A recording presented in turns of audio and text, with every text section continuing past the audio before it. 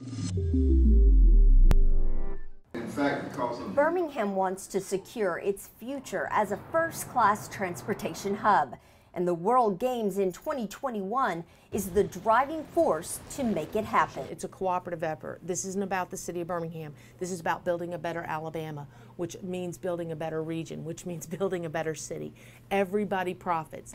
As chairperson of the Transportation and Communication Committee, Councilor Kim Rafferty says it's time to start rebuilding the entire transportation infrastructure of the city, especially in anticipation of the World Games. She estimates the result would be a billion dollar infusion into the economy, including jobs and the possible growth of the automotive industry. We are, are appealing to those people who want to come in from other countries as well as other states to develop industries or manufacturing or other commercial or economic development opportunities.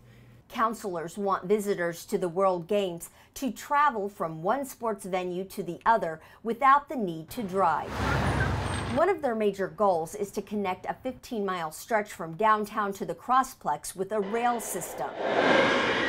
Council President Pro Tem Jay Roberson says he supports all public transportation, including the rail system, bus transit, taxis, and car services like Uber. I still refer back to Atlanta and the Olympics in 1996.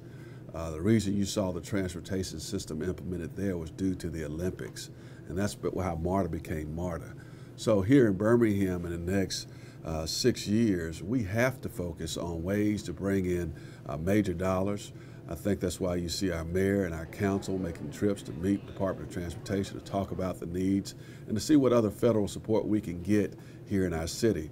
Uh, so in 2021, when uh, thousands and hundreds of thousands of people converge on this city, we can be prepared to move people around, uh, be customer service like, and provide first class transportation here in our city. The Metropolitan Atlanta Rapid Transit Authority, or MARTA, is now the eighth largest rapid transit system in the U.S. and has spurred economic development in neighborhood after neighborhood. Uh, when I went to Tokyo, Japan, uh, when you ride a bullet train, and to see uh, not only the speed of that train, but to see the stops and what's happening at those different stops. Uh, in, in metropolitan to Tokyo was tremendous. Uh, you have stores, you have retail, you have shops. Uh, that's what we need to see happen here. The Transportation Committee is suggesting optimizing Birmingham's bus services by doing away with the current hub and spoke system, replacing it with a more efficient grid. Councilor Rafferty also wants to build an inland port facility and a commuter rail system between Birmingham and Mobile. Uh, it will basically unzip the state of Alabama and it will open up being able to move people from the top most northern point, Huntsville, all the way down to Mobile. That means that people can move, people can do business, and, and we can actually, instead of clogging our interstates and polluting our airways, we can find more conducive ways to travel. Um, uh, aside from the rail, we also have the aviation portion, and the way that we're trying to develop that is being intentional in our growth with the Birmingham International Airport and the surrounding airports. Construction is currently underway on this new downtown intermodal transportation terminal.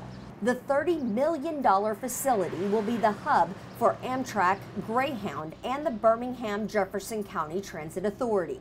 Councilor Rafferty says since the state doesn't provide funding for transportation options, the city must come up with ways to generate money to pay for these improvements. She suggests as tourism grows, so should revenue by increasing licensing fees, lodging, and rental tax, as well as entertainment and ticket tax. I think if we build it, people will come, uh, they will enjoy it. Uh, we already see enhancements now with our bus system. The intermodal facility is being built now. The downtown Birmingham is truly tremendous. So uh, it's time now that Birmingham really focuses on transportation. Councilors agree transportation should be a necessity, not an amenity. And they're determined the public has the essentials to move around seamlessly. For all the latest news and information, connect with our community or visit our website and subscribe to news updates.